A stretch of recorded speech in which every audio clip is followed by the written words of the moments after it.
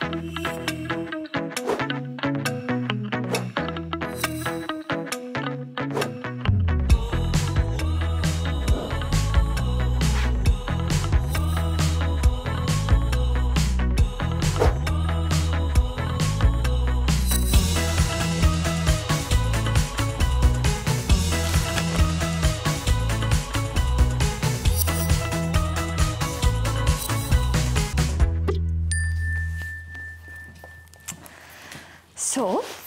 we gaan vandaag meal preppen en it's one of my favorites. Want meal preppen dat is de sleutel tot een hele week gezond eten en niet in de verleiding komen om naar de frituur of zo te gaan. Ik maak vandaag vier gerechten en daarvoor haal ik mijn inspiratie over gans de wereld. Als eerste gerechtje maken we kip met appelsiensaus en een quinoa-wok daarbij. Ik heb ook voor zalm gezorgd. Dat ga ik maken met een rode curry en limoengras. We maken een Marokkaans stoofpotje met zoete aardappel. En ik maak ook nog een quinoa met pesto en een eitje daarbij. Dus ik zou zeggen, we gaan er onmiddellijk in vliegen. Beginnen doen we met onze kip met appelsiensaus en we gaan daar ook een quinoa-wok bij maken. Ik heb hier 150 gram quinoa. Ik ga die heel even spoelen. Quinoa kan, als die niet gespoeld is, nogal een bitter smaakje geven. En dat willen we vermijden. En tegenwoordig wordt die heel vaak op voorhand al gespoeld. En dan moeten we dat eigenlijk niet meer doen. Maar just to be sure.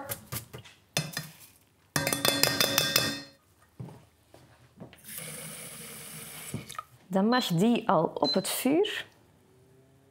Ga die heel hard zetten en op het moment dat die kookt, ga ik eigenlijk het vuur een beetje naar beneden halen.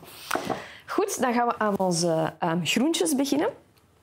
De basis van elk lekker gerechtje, look en een uitje.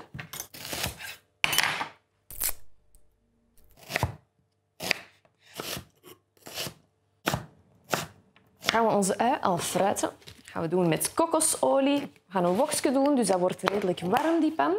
En dan ben ik altijd een fan van kokosolie te gebruiken, omdat het een heel stabiel vet is. Gewoon een half lepeltje of zo is zeker een vast voldoende. als je zo wat over hebt, kijk hoe voor je huid. Dus gewoon even je handen mee insmeren. Ons uitje mag daarbij. We gaan daar look bij doen. Een echte goede smaakmaker. Maar ook kijk, gezond. Heel veel mensen denken altijd van hm, look, dat is puur voor de smaak, maar dat supergoed voor u. Dat mag op een zacht vuurtje een beetje gaan fruiten. Gaan we daar champignons bij doen. Trouwens ook het ideale gerecht om elke overschot dat je nog hebt van je groentjes gewoon mee in je wokje duwen. Ik ga die redelijk fijn snijden, omdat die bij in ons wokje gaan. Zo, je doet er zoveel of zo weinig champignons in dan dat je wilt. En onze quinoa die is mooi opengesprongen. Die begint zo'n beetje fluffy te worden. Dat is een teken dat hem gaar is. Dan gaan we het overtollige water even weggieten. Voor de groentjes heb ik gekozen voor een mooie wokmix. Oké, je kunt ze ook zelf snijden, maar soms is gemakkelijk ook een goede oplossing. Zo een van mijn gerechtjes die ik niet goed weet wat maken s'avonds en het moet snel vooruit gaan, dan kies ik ook voor deze. Heel makkelijk. En al zeker als de groentjes voorgesneden zijn. Als groentjes die gaan een beetje in volume krimpen, gaan wij ondertussen een kipje daarbij nemen. En we gaan die in onze meal prep al een beetje kleiner maken. Ik heb hier mooie biologische kipfiletjes. En we gaan die gewoon al in hapklare stukjes doen.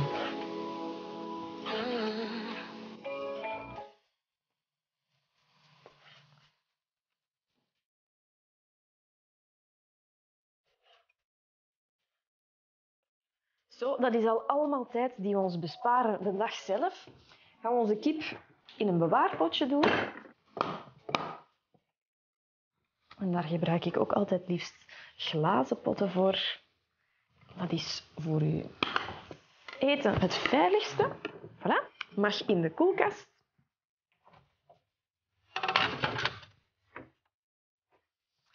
Dan gaan we onze quinoa mengen met onze groentjes.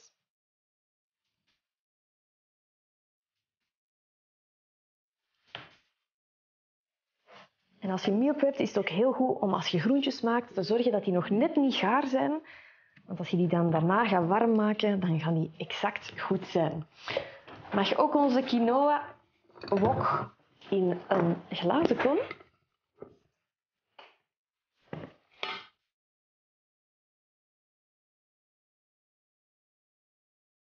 Zo, dan mag dit afkoelen. Hier zetten, mag dat straks in de koelkast. En dan kunnen wij ondertussen beginnen aan ons tweede gerechtje. Dat wordt een zalm met rode curry en limoengras. Bij onze curry gaan we aardappeltjes serveren. Met dit gerechtje hebben we niet veel meal prep, omdat het gewoon een heel simpel gerechtje is. Ik heb van die kleine aardappeltjes meegebracht. En die gewoon vieren delen. Proberen allemaal een beetje dezelfde grootte te geven. Dat die ook gelijkmatig gaan garen. En ik laat altijd graag de schil aan die aardappeltjes. Want in de schil zitten heel veel heel gezonde nutriënten die we goed kunnen gebruiken. En ik vind dat ook nog wel eigenlijk een extra textuur geven. En zo hebben we ook nog eens een extra vezel. Zo, we gaan die aardappeltjes stomen. Gaan we al op voorhand in onze meal prep doen zodat we daar de dag zelf niet meer naar moeten kijken en dat die gewoon onmiddellijk bij onze curry kunnen. En iedereen kan stomen, dat is kei gemakkelijk gewoon. Ook al heb je geen stoompot, vergietje nemen, je pot vullen met een bodemke water. En dat is een heel gemakkelijke manier om te stomen.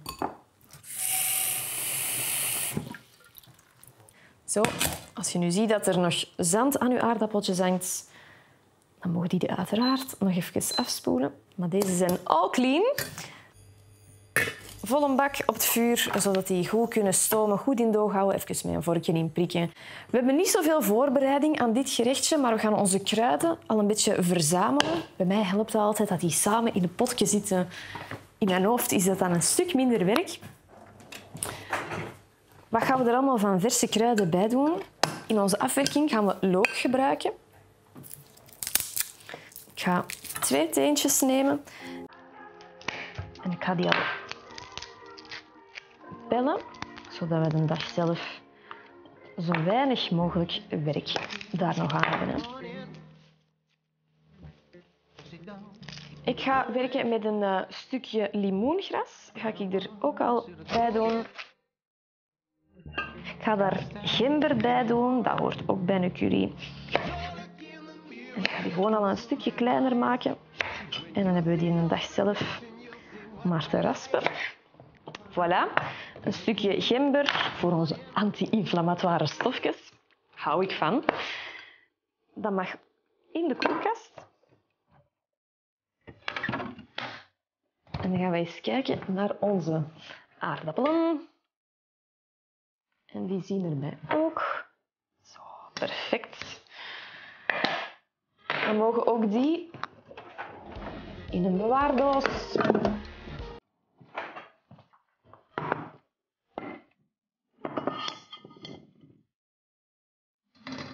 Voilà, gaan we ook eventjes laten afkoelen. Dan gaan wij ondertussen aan ons volgende gerechtje beginnen. En dat wordt een Marokkaans stoofpotje. Een vegetarisch gerechtje. Gaan we werken met zoete aardappel. En die gaan we in zijn geheel garen. Ik ga daar juist de lelijke stukjes een beetje afsnijden. Gaan we daar wat gaatjes in prikken. Ik vind het ook altijd handig als ik zoete aardappel gebruik in een meal prep. Voor de schil daaraan te laten. Een zoete aardappel, als je die gegaard hebt, die wordt nogal snel zo wat donker van kleur. Dat is niet erg. Dat is gewoon minder appetijtelijk. En als je die schil eraan laat, dan blijft die mooi oranje van binnen. En door die gaatjes erin te prikken, gaat dat een klein beetje gemakkelijker garen. Gaan we die vervolgens ook invetten met olijfolie.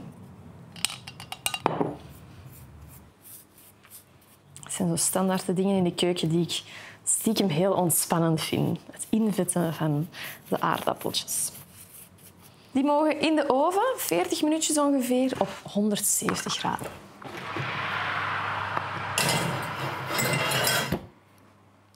Zo gaan wij ondertussen al de rest maken van ons Marokkaans stoofpotje.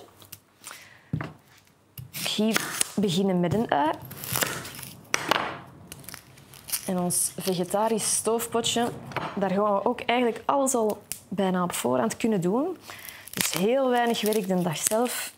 Er gaan best veel groentjes in en dat is altijd een beetje het nadeel aan groentjes. Dat dat veel snijwerk vraagt. Dat gaan we in onze meal prep al doen. Dan zijn we daar al vanaf. Onze ui die gaan wij al fruiten. Dat ga ik doen met een beetje olijfolie. Dan mag ons uitje daarbij.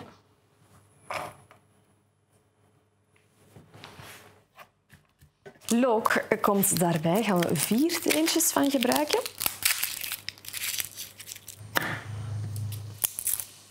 Gaan we ook de look bij in onze pan doen.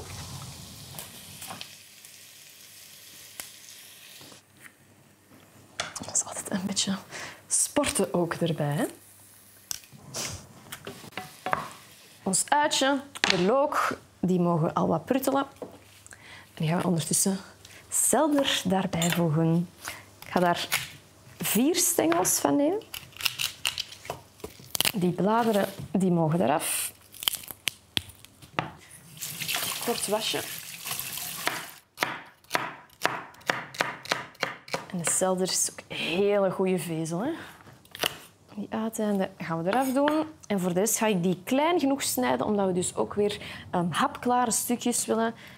Een stoofpotje, dat wilde zo kunnen lepelen eigenlijk. En dan wilde niet nog eens vorkje mes moeten gebruiken. Onze selder die mag bij in onze grote pan. Heel belangrijk trouwens van een grote pan te nemen, want al onze ingrediënten die gaan daar nog bij komen. Je wilt uiteraard vermijden dat je onderweg een keer moet wisselen van pan. Gaat er nog in van groentjes een bloemkool gaan we daarbij doen. Bloemkool, mijn favoriete groente. Je kunt daar veel kanten mee uit. Het is zo veelzijdig. Doe ook vaak tegenwoordig mee in mijn smoothie bijvoorbeeld, omdat het een redelijk neutrale smaak heeft. Dus dat is ook zo'n groente die ik eigenlijk bijna altijd in huis heb. Ook bijna iedereen lust dat graag. Ook veel kinderen lusten graag bloemkool. Dus dat is altijd een hele dankbare om mee te werken. Gaan we in roosjes doen. Gaan we ook klein genoeg maken. En dan gaan we die, eens die in roosjes zijn, gaan we die nog een beetje kleiner maken. Dan heb je altijd van die roosjes die sowieso al helemaal perfect zijn. Ideaal.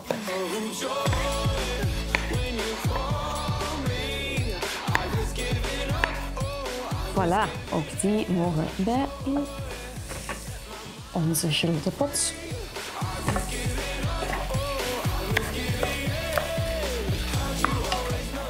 Zo. Wat mag daar nog bij? We gaan daar tomaten bij doen. Ga ik gewoon tomaten die al voorgesneden zijn nemen. Een heel blik mag daarbij. Zo. En ook onze kruiden die mogen daar al bij. We gaan daar redelijk veel kruiden aan toevoegen. En zo wat die typische Marokkaanse smaken erin brengen. Ik kan er al drie laurierblaadjes bij doen. Die gaan straks met onze bouillon mooi mee inkoken. Daar mogen drie theelepels komijn bij. Kurkuma, anderhalve theelepel. Heel goed anti-inflammatoire, heel goed tegen ontsteking. En dan kaneel, typische Marokkaanse keuken hier. gaan we ook anderhalve theelepel doen. Dan kunnen die al een beetje mee gaan inkoken hier. We gaan daar, we houden het vegetarisch, gaan een beetje linzen aan toevoegen. Een beetje meer eiwitten erin. Ik kies hier voor groene linzen, maar voel u vrij om eender welke linzen te kiezen. Ga er 200 gram van nemen. En dan laat je die altijd graag even mee de smaak nemen, alvorens dat wij onze bouillon eraan gaan toevoegen. Anderhalf litertje bouillon. Dit mag 25 minuutjes blijven pruttelen. Gaan wij ondertussen eens kijken naar onze zoete aardappel. Zo, onze zoete aardappeltjes. Dan gaan we onze zoete aardappel in een bewaardoos steken. Dan kan die nog een beetje afkoelen en dan kan die ook in de koelkast.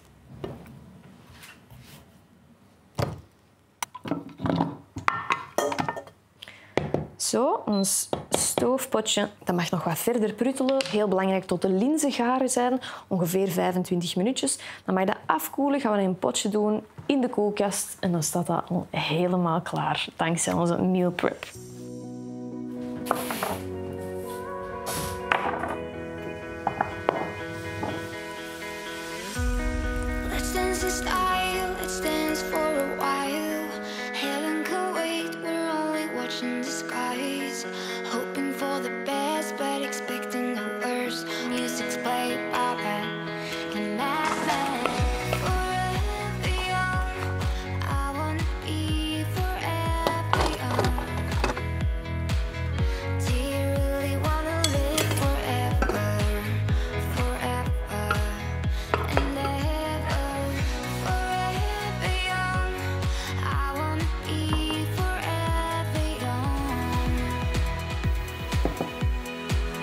Laatste gerechtje van onze meal prep wordt onze quinoa met pesto en een eitje. Gaan we beginnen met terug onze quinoa gaar te koken. Neem ik deze keer 170 gram van. Gaan we spoelen.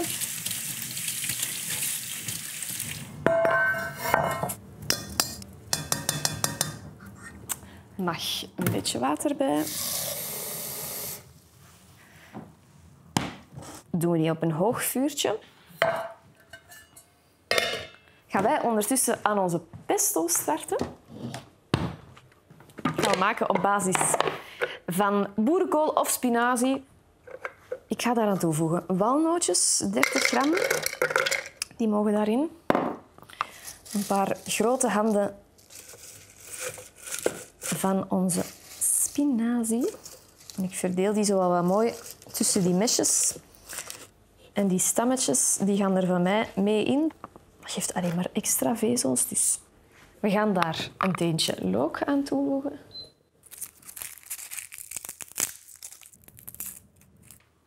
Voilà. Gaan we daar een halve limoen aan toevoegen. Een massage geven. Voor al die sappen een beetje los te maken.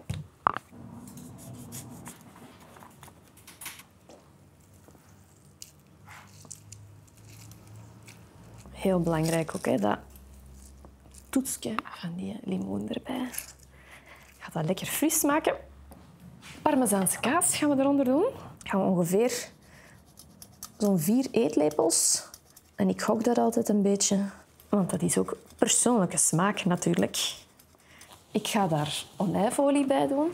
Drie eetlepels.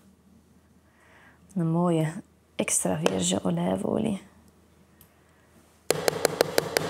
Daar mag een beetje water bij. Gaan we straks eventueel nog wat bij doen. Mocht uw blender of uw chopper niet goed gaan, gaan we daar ook nog peper en zout aan toevoegen. We hebben al kaas, dus in principe hoeft er niet zoveel zout bij. En dan gaan wij blenden.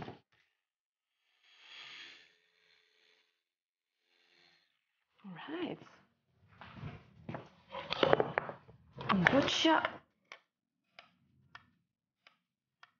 Voilà, dan is onze pesto al klaar. Dan mag die al in de koelkast.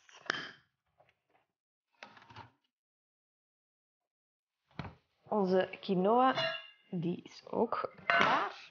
Het overtollige water afgieten.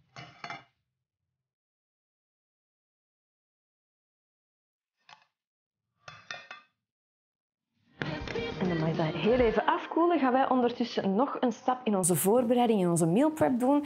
Gaan we een uitje al snijden en onze champignonnetjes snijden. We gaan die nog niet klaarmaken. We gaan ervoor zorgen dat op de dag zelf dat dat helemaal geen werk meer is door nu al die groentjes te snijden.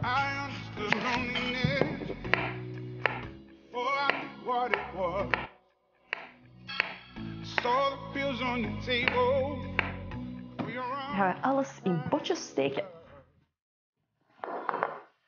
Genoeg bewaarpotten. Goeie investering in je keuken. Onze quinoa, die mag al in een potje.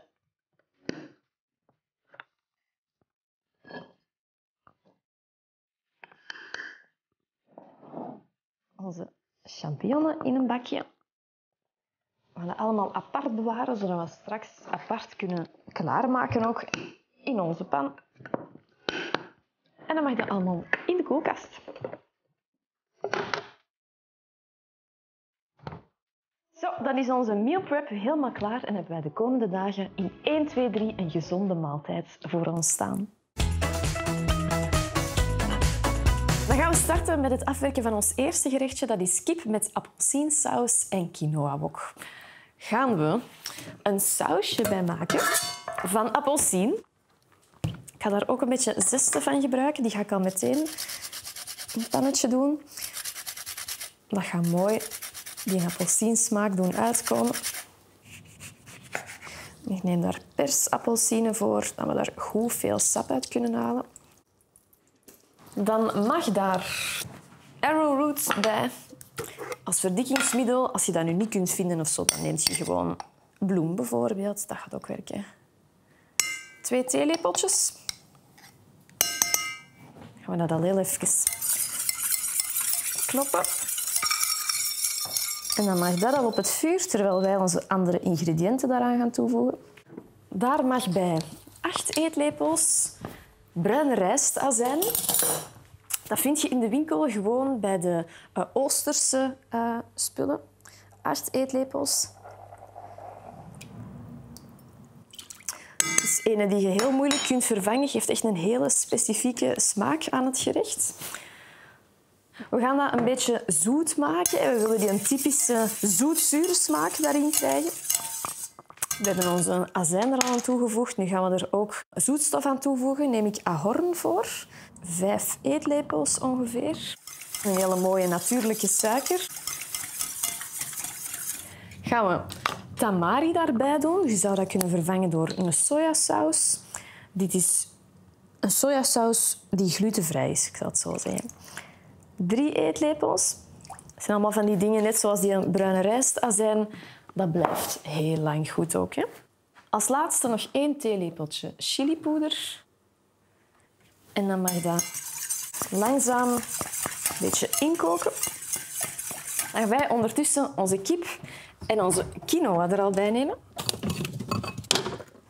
En daar hebben we helemaal niet veel werk niet meer aan. Ik ga beginnen met de kip. Zo, gaan we onze arrowroots aan toevoegen. Drie eetlepels daarvan. En nu is het een beetje met uw handen spelen. Dat gaat ervoor zorgen dat we zo een klein beetje een laagje rond ons kipje hebben. Dan mag onze kip in de pan. Gaan wij ondertussen ook onze quinoa terug opwarmen. Klein likje olijfolie. Wat mag er nog bij onze quinoa? We gaan daar een beetje tamari bij doen. Een blussen daarmee. Dat gewoon een extra smaakdimensie geven.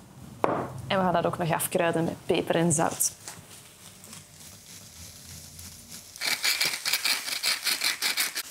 We ook onze kip zachtjes bijkruiden. Hoeft helemaal niet veel te zijn, want we gaan al met een saus werken.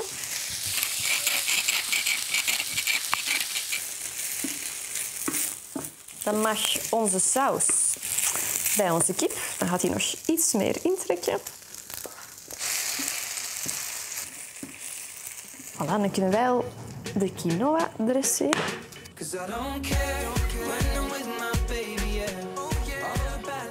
Daar mag wat kip bij. Gaan we daar een beetje sesam over doen. En we gaan het afwerken met een beetje koriander. Tenzij dat je helemaal geen koriander lust. En dan kun je dat uiteraard ook doen met peterselie bijvoorbeeld. En dan is ons eerste gerechtje klaar. Het is uh, kip met appelsiensaus en quinoa wok. En het ziet er super uit en het is een kei, kei, kei lekker gerecht.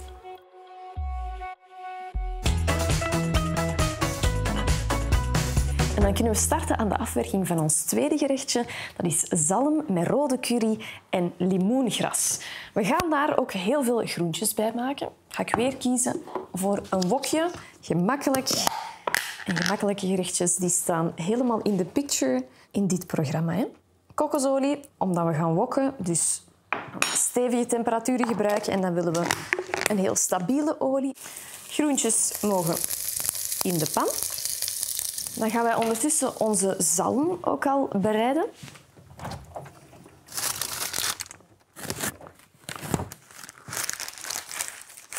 En je kunt hier kiezen. Je kunt die vers bij de visboer gaan halen, maar is ook iets wat ik bijvoorbeeld altijd in de diepvries heb.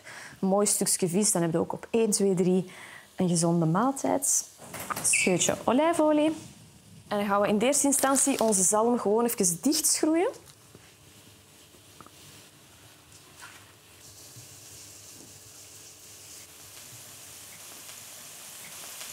gaan onze zalmpjes omdraaien.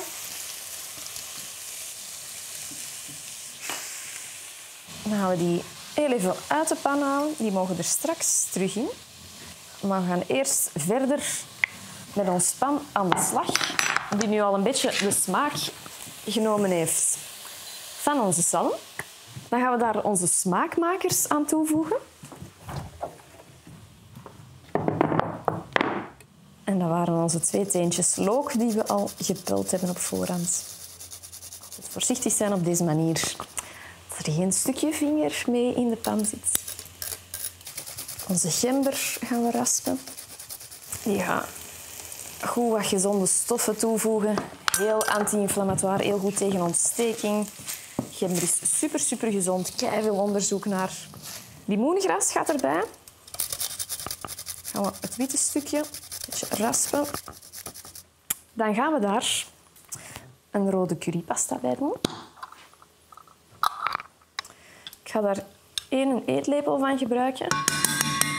Als je je currypasta nog niet zo goed kent, is het best om altijd eerst te proeven om te zien hoe spicy dat, dat is. Ahorn, eetlepeltje ongeveer, mag daarbij. We gaan daar kokosmelk aan toevoegen. Zeer belangrijk dat dat uit blik komt. En er mag gewoon een heel blik in. En dat is uiteindelijk een heel puur product. En kokosmelk uit blik, dan zijn je zeker dat het goede is. En dat vind je ook gewoon bij de Oosterse producten in de winkel. We gaan daar een beetje saus aan toevoegen. Een eetlepel ook.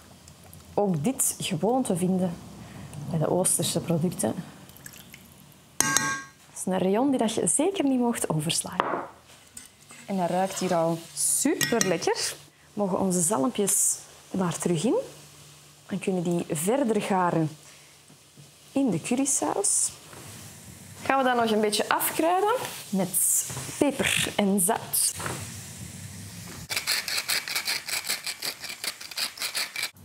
Dan gaan we er nog het sap van een limoen bij doen. We gaan er ook een beetje zeste van nemen.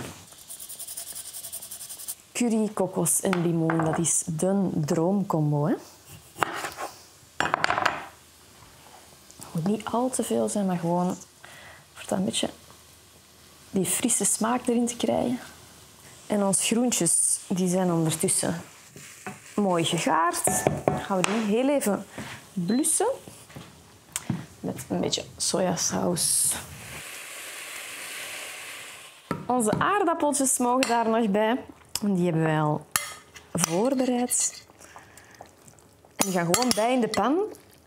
Zo kunnen die mee de warmte en de smaak van de curry opnemen. Voilà, dan mogen die aardappeltjes nog een paar minuutjes mee in onze curry koken. En dan gaan wij ondertussen al stilletjes aan dresseren. Al onze wokgroentjes daarbij nemen. Die dan we wat op smaak gebracht hebben met onze sojasaus. We gaan al een stukje koriander nemen. Started on the then I will never go and hide the truth.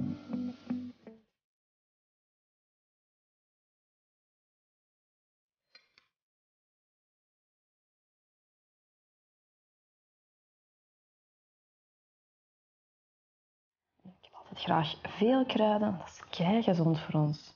Voilà, en dan hebben wij een tweede gerechtje klaar. Onze zalm met rode curry en limoengras. Het ruikt alvast top.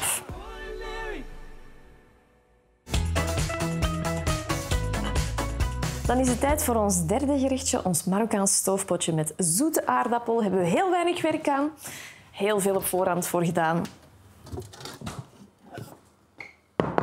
Onze zoete aardappeltjes die ga ik even opwarmen in de oven. Mag er gewoon zo in, 170 graden, 10 minuutjes ongeveer. Gaan wij ons Marokkaans stoofpotje ook opwarmen en verder afwerken.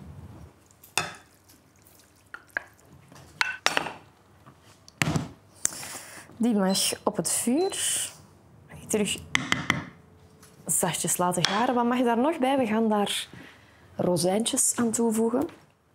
Dat gaat zo die een typische Marokkaanse toets geven, dat lekker zoete. En gaan daar twee handjes ongeveer bij doen. We gaan al wat munt en koriander snijden.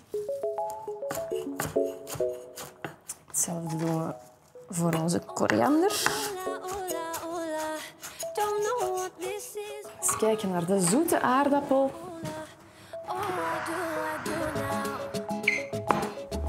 Zo. En dan gaan wij dresseren. Hè. We nemen een beetje stoofpotje. Wilt dat zo goed verdelen met nog wat van de saus daarbij. Daar gaan we een zoet patatje bij doen. We gaan daar nog een stevige vleug peper en zout aan geven.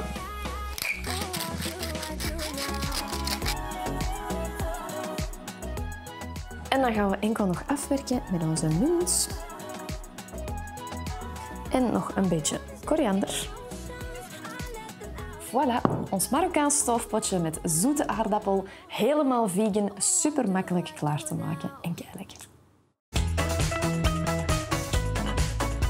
Als laatste heb ik nog een quinoa met pesto en een eitje in petto. En daar hebben we al superveel voor voorbereid. Dus gaat super simpel zijn. Gaan wij onze quinoa opwarmen. Onze reeds gegaarde quinoa. Bij onze quinoa gaan we vier grote eetlepels van onze pesto doen. Zo, dat mag op een zacht vuurtje terug een beetje warm worden. Dan gaan wij ondertussen het uitje en de champignons klaarmaken.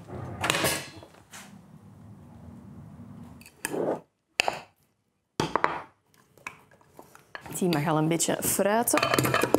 En dan mogen we daar, eens dat die wat glazig zijn, onze champignons bij.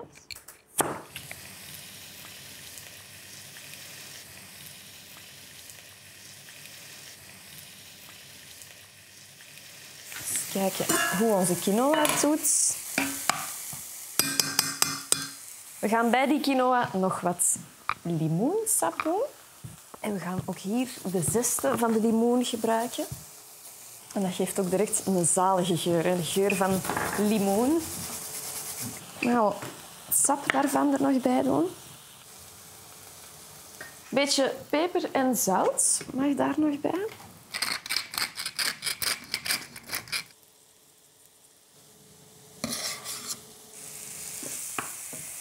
En die champignonnetjes die zijn hier ook klaar. Dan gaan wij de helft daarvan bij onze quinoa doen. Meer dan een helft. Gaan gewoon nog een beetje bijhouden voor de afwerking van ons gerechtje. Want het oog wil ook wat. En dan gaan we als laatste daar nog een eitje bij maken.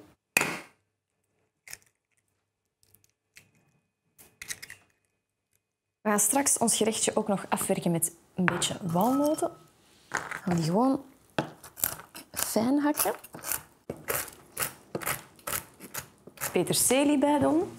En ik kies voor zo'n mooie platte peterselie. Je mag daar echt veel bij doen. hè. Dat is niet alleen voor het oog, maar dat is super gezond. Heel nutrient dense, zoals ze dat noemen. En dus heel veel nutriënten op een klein oppervlak eigenlijk. Alright, dan gaan wij dresseren.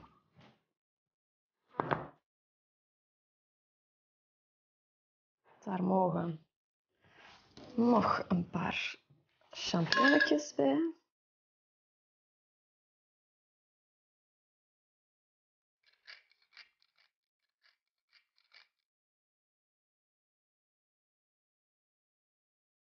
Klein beetje parmezaanse kaas. En als laatste nog een beetje groen toevoegen.